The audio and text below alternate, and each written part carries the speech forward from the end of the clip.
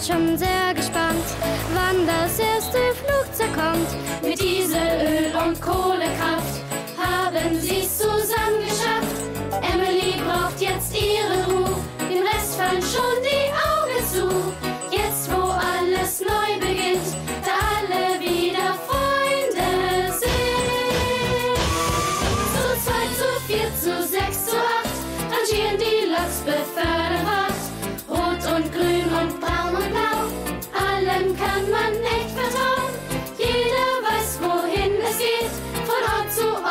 früh bis spät, bergauf, bergab.